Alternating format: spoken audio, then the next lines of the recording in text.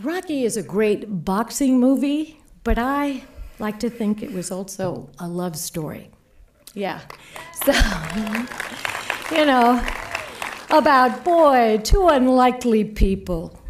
And in one kiss, they're transformed. And remember, Sylvester wrote Adrian. This is his design from out of his ribs, so to speak. Adrian, she becomes his partner. She becomes a moral force, and she is forever in his corner. I wrote a scene about the ice skating rink. So the thing was 300 extras, and I was supposed to be showing up there, and, uh, and it was our first date. And I get, I don't know if we got a car, I think I, we arrived there by bus, and I get off and they say, uh, well, slight change in plans. Uh, the number's been cut down. I said, oh, okay, no, I can work with that. They go, well, how many? 100? Goes, no. 50? No. How many, how many ice skaters do we have? Goes, None. Zero. Zero.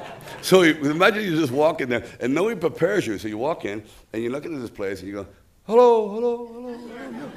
I went, wow this, this, this is going to be a disaster. This is truly going to be horrible because she can't really skate. As you saw, I can't. I run along the ice.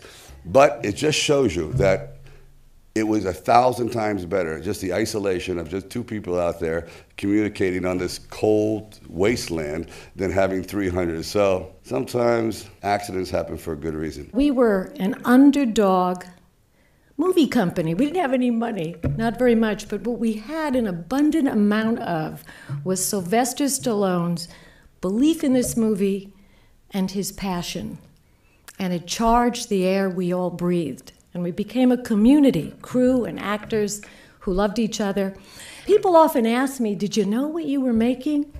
Well, you know, you never know. But amongst us, though we said it in just a whisper, we thought we were making something original and pure. The uh, idea of doing this film was just to try to put into perspective, like, whatever, everyone has a dream, everyone has a slight dilemma in their life, will they ever going to make it? And then you get to a point where I may not make it to a certain level, but I can set my own goals. I may not be the best in the world, but at least I can rise to a level that I can be confident and calm with and proud of myself. So I think that's what the film was about. You may not be the best in the world, but you can be the best in your own life.